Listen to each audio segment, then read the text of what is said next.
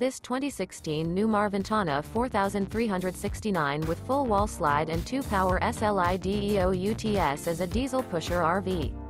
It is located in Garfield, Minnesota, 56332 and is offered for sale by Steinbring Motor Coach. This used Newmar is 43 feet 10 inches in length and features three slideouts, a Cheval Decor interior, and 105 gallons fresh water capacity. The floor plan layout of this diesel pusher features bath and a half. This 2016 Newmar Ventana 4369 with full wall slide and 2-power SLIDEOUTS is built on a Freightliner chassis and is powered by a Cummins ISL engine.